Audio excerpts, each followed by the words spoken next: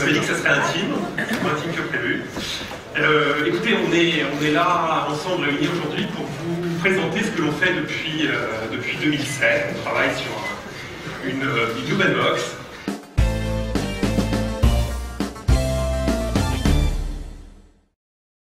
Bon, alors Xavier Niel, on va commencer. Bonjour, Jérôme. Bonjour. Merci de répondre aux questions de la chaîne Techno. Merci à la chaîne Techno de s'intéresser à nous. Free fait sa révolution, une fois de plus. Enfin, ça s'appelle révolution en tout cas. Bon, alors, les- dans les grandes lignes, les caractéristiques de cette nouvelle Freebox V6. Vous avez une heure devant vous, euh, Jérôme? Oui. Si on a une heure, on y va, on commence. Non, en fait, à partir en 2007, on, donc on a des générations de, de, de box qui durent 4 à 5 ans, et en 2007, en 2006, à partir de 2006, et on s'y est mis en début 2007, on s'est posé la question qu'est-ce que l'on va faire euh, dans cette box Qu'est-ce qu'on est capable d'inventer? Est-ce qu'on est capable d'inventer quelque chose? Et puis, euh, quand, on, quand on fabrique des box, on les fabrique pour des générations de 5 ans, donc il faut essayer d'imaginer comment nos, comment nos usages vont évoluer sur 5 ans. Et donc, qu'est-ce qu'on s'est aperçu? On s'est aperçu que on avait inventé un truc, mais qui était une erreur. C'est-à-dire que précédemment, par exemple, on avait mis le disque dur dans, le, dans la box TV, et c'était une erreur parce que le disque dur, il doit être partagé entre tous les équipements du foyer. Ça permet d'inventer des tonnes d'applications. Donc, on a pris le disque dur qui était dans la box télé, on l'a mis dans la box réseau, que l'on appelle la box serveur. Et puis après, on s'est posé euh, d'autres questions. Si on met un disque, bah, autant mettre un, disque significatif en termes de volume. Et si on met un disque gros, bah, il y a quelque chose qui émerge sur le marché et qui marche, qui sont les NAS, les, les serveurs attachés. Bah, dans ce cas-là, transformons ce disque en NAS. Et, puis après, tout part de manière euh, complètement logique. Donc on, s'aperçoit aussi, par exemple, que cet équipement est très utilisé euh, chez les gens, la box réseau, pour voir l'heure. Bah, Qu'est-ce qu'on fait? On améliore la qualité de l'heure, on met un écran, on s'aperçoit que c'est un équipement sur lequel on peut faire plus de support. Donc on met des touches tactiles, des menus, on met un écran avancé. Et, mais tout devient complètement logique. Et puis de l'autre côté, on fait un player, on va chercher le processeur, un processeur Intel x86, donc un processeur puissant. Et puis bah, autour de ça, puisqu'on a beaucoup de puissance, bah, on invente la totalité des applications. Et on se dit, mais on est là pour simplifier les usages. Si on est là pour simplifier les usages, il y a des choses qu'il faut qu'on enlève. Donc dans notre foyer, par exemple, on a un lecteur Blu-ray ou un lecteur CD ou un lecteur DVD. Pas souvent Blu-ray parce que c'est trop cher, mais souvent un lecteur CD ou un lecteur DVD. Eh bien, travaillons et intégrons un lecteur Blu-ray dans la box télé. Mais alors, comme d'habitude chez Free, c'est comme on a des telles volumétries, on devient le premier acheteur européen, voire mondial de Blu-ray, parce qu'on achète des centaines de milliers de pièces, enfin on commit des millions de pièces. Et globalement, on bouleverse le marché du Blu-ray, mais il faut pas que ça se voit. Parce qu'on ne veut pas que vous sachiez. Donc on les commande avec des faux noms. Mais quand on a des faux noms, les gens se disent mais pourquoi vous en commandez autant? Enfin, Donc on a toutes les difficultés qui fait que bah, on croit toujours qu'on va être prêt avant et qu'à la fin ça devient complexe. Et puis bah, au bout on a un produit euh, sympathique qui est prêt, on le cache à l'étranger pour pas qu'il y en ait en France et qu'il n'y ait pas de fuite. Et puis bah, maintenant on ramène tout ça en France pour le lancer aujourd'hui. C'est dur la culture du secret. hein. Vous auriez pas inventé, vous auriez pas emprunté ça euh, à Apple?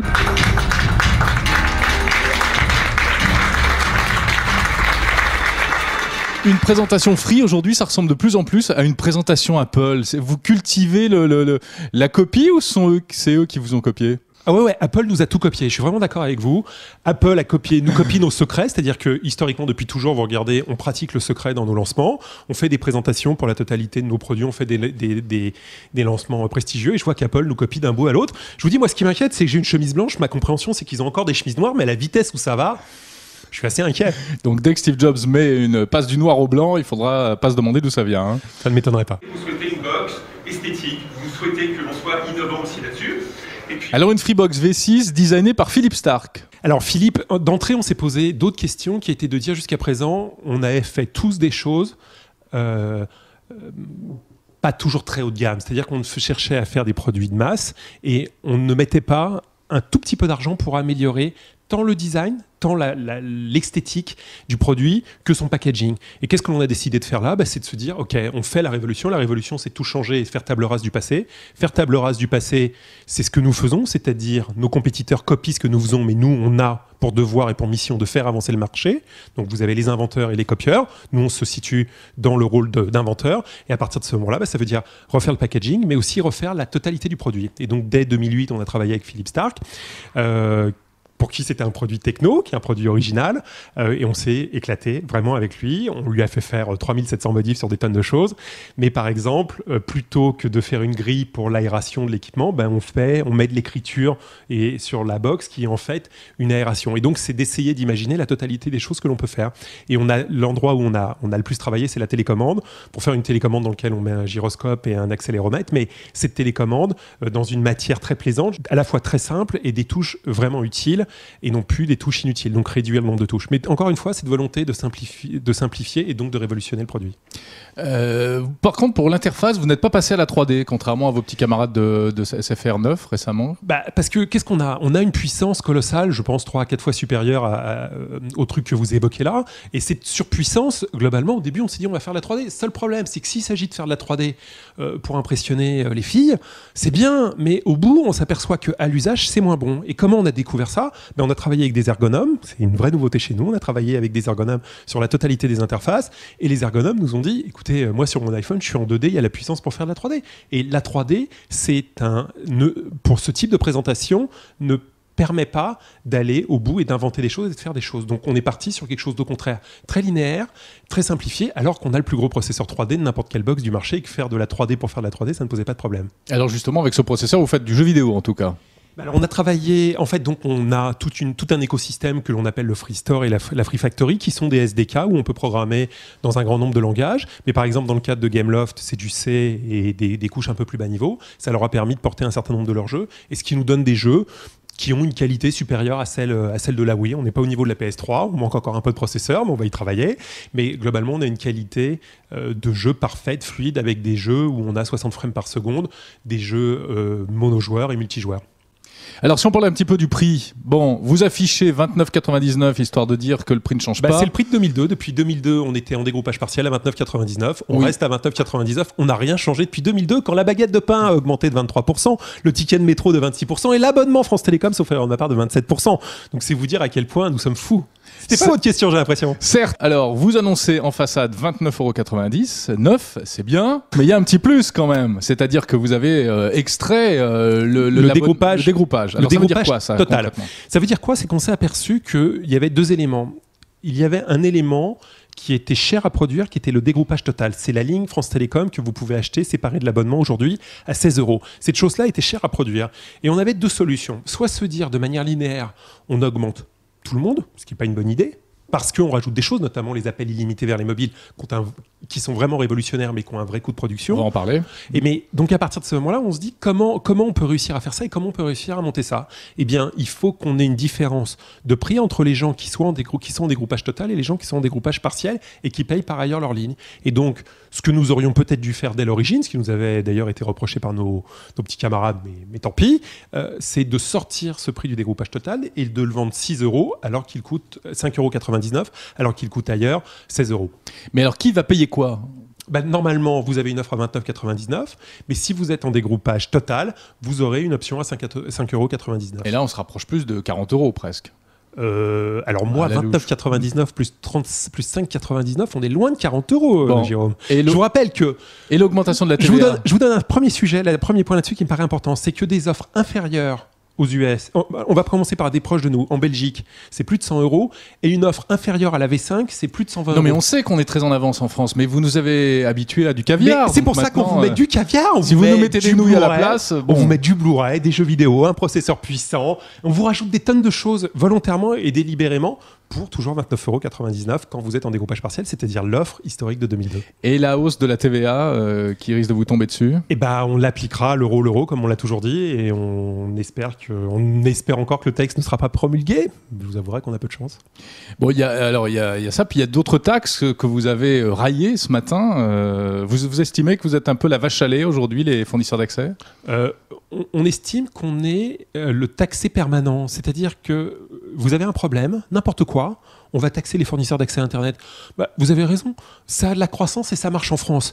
Donc globalement, on a toute une industrie. Euh, on peut faire un autre. On a, on a de la, on peut le comparer comme ça. On a euh, des trains à vapeur. Et puis on va mettre des taxes sur le TGV pour subventionner les trains à vapeur. Et donc en France, on a une habitude à surtaxer les locaux, puis y compris les, internationaux qui sont là. Hein. mais on essaye de les taxer, on a plus de mal. Mais globalement, donc, on va créer des taxes sans fin. La totalité de ces taxes que l'on a euh, aurait pu permettre sur la période de faire baisser le prix de 29,99 et globalement, ou alors d'augmenter nos profits, mais c'est même pas notre besoin. Nous, ce que l'on pense, c'est qu'il faut arrêter ces taxes permanentes. C'est 1 euro, 2 euros par abonnement par an, sans fin, depuis 2004. Il faut que ça s'arrête parce que sinon, il y a un moment, on va devenir le pays qui sera le plus cher. Mais non pas tant parce que les acteurs du marché sont bons ou mauvais, bons dans leurs résultats et mauvais dans leur offre aux consommateurs, mais parce qu'on se sera vu tellement surtaxé qu'à un moment, on n'y arrivera plus. Et ça, il faut que ça s'arrête. Alors, si on parlait un petit peu des mobiles, donc vous allez proposer les appels gratuits, illimités vers tous les mobiles à partir de la box. Comment vous faites ça? Eh bien, on fait une prière. On espère que vous n'allez pas téléphoner. non, je plaisante. Euh, non, on, avait, on avait un problème de base qui est de se dire. Euh, vous avez en France, on vient de l'évoquer, l'Internet au débit le moins cher au monde et la téléphonie mobile la plus chère au monde. Et à partir de l'instant où on a dit ça, on se dit, il y a un problème. Et qu'est-ce qui se passe? C'est que les opérateurs mobiles alternatifs sont pas tellement légitimes sur cette activité-là et perdent de l'argent sur l'activité au débit. C'est-à-dire Bouygues et SFR ne gagnent pas d'argent sur l'activité au débit. France Télécom, lui, agit de manière régulière, gagne de l'argent, fait du profit, et c'est une société qui ne fait pas du dumping de l'un par l'autre. Par contre, Bouygues et SFR subventionnent l'absence de profit de leur activité ADSL euh, par des surmarges sur le mobile. On s'est dit qu'il fallait que ça s'arrête. Parce que au bout, c'est nous qui payons. Ça sert à rien qu'on continue de se battre à faire les prix du haut débit les plus faibles, juste pour engraisser quelques-uns de nos concurrents. Donc à partir de ce moment-là, on se dit bah, comment dès aujourd'hui on arrive à mettre la pression sur ces opérateurs mobiles? Donc on a obtenu une licence mobile, on déploie, le déploiement se passe bien, mais ça, ça va arriver début 2012. On se reverra à ce moment-là, j'espère. Mais avant début 2012, comment on met comment on fait la révolution? Comment on commence à mettre le bordel? Et puis il y a quand même une grande chose, c'est que nous on est les inventeurs et eux sont les copieurs. Donc on espère qu'ils vont venir nous copier en plus. On espère toujours que nos innovations ou tout ce que l'on invente soit distribué au plus grand nombre. C'est vraiment un élément sincère de notre part. Quand on est copié, on adore. On est copié depuis le premier jour sur le nom, sur le reste, mais on adore. Et on s'est dit, mais comment on est capable de mettre le bordel tout de suite? Là-dedans. Et pour mettre le bordel là-dedans tout de suite, eh bien on s'est dit le meilleur moyen, c'est soudainement de montrer à quel point c'est peu cher de produire des appels mobiles. Et aujourd'hui, à quel point ils s'engraissent sur notre dos. Et à partir du moment où on s'est dit ça, eh bien très naturellement, on intègre les appels illimités depuis votre Freebox. Et à partir du moment où on fait ça, on vous dit autre chose, vous dit bah, vous pouvez commencer à faire des économies tout de suite. Aujourd'hui, vous réduisez d'une heure votre forfait chez un opérateur mobile, vous gagnez 120 euros par an. Vous me parliez de quelques euros tout à l'heure, mais attendez, une heure de réduction de mon forfait mobile, c'est 120 euros d'économie annuelle. Je ne vous parle pas. Aujourd'hui, les forfaits illimités chez les opérateurs mobiles sont autour de 100 euros. Et ben voilà, il faut que maintenant, on sait qu'à 29,99, on sait faire des forfaits illimités mobiles. Si le message n'est pas clair, ben, j'espère qu'il le deviendra très rapidement. Donc nous, on espère que nos totalités de nos concurrents vont venir là-dessus. Franchement, ça nous fait vraiment plaisir parce qu'on pense que c'est un besoin pour le, pour le marché. Bon, Xavier Niel, votre box, vous la baptisez Révolution. Vous dites aux gens que vous allez leur faire gagner de l'argent. C'est pas un peu démagogique tout ça? Si c'est vrai, c'est pas démagogique, or c'est vrai. Pourquoi c'est une révolution? Parce que on modifie, parce qu'on re-réfléchit, on ne se contente pas de copier. Euh, on a un compétiteur qui a sorti une nouvelle box il y a trois semaines. C'est l'équivalent de notre box de 2006. Ah, s'il y a une différence, elle est 5 euros plus chère.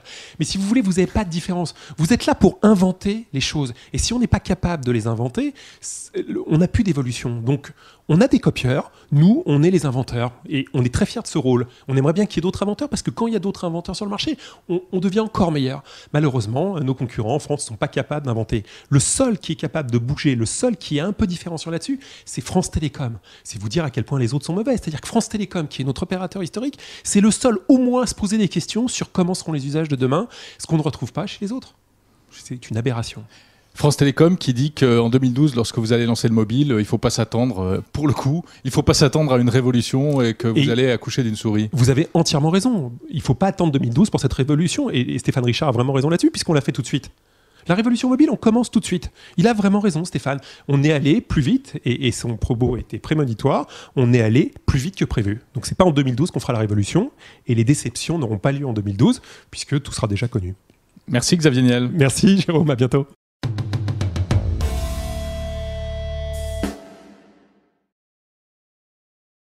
je vais juste faire un petit essai micro. Ouais. Xavier Niel, bonjour. Bonjour Jérôme. 3, 4, 5, oui, ça donne quoi?